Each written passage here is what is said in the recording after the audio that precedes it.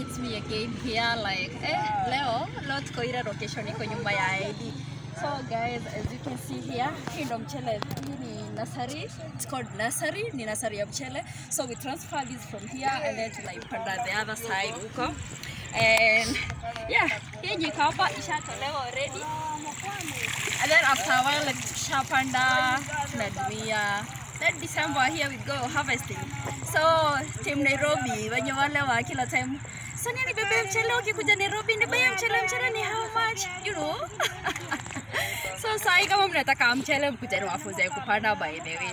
And when it comes to planting na wenye wanasemanga we don't do work because ya makucha.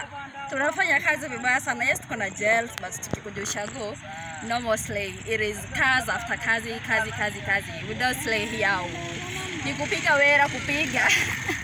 So let me show you how we go about it. Tunapanda hivyo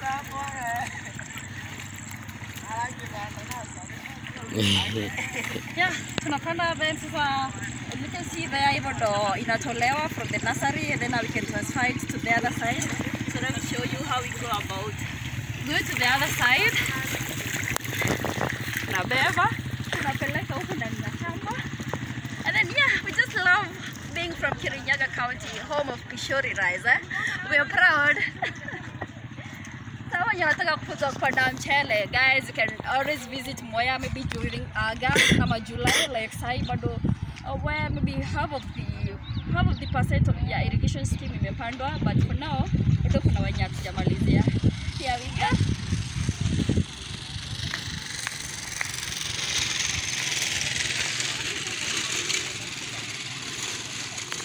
so ni kupiga kazi kupiga kupiga kuchapa wera Moya no wera tu Tadas!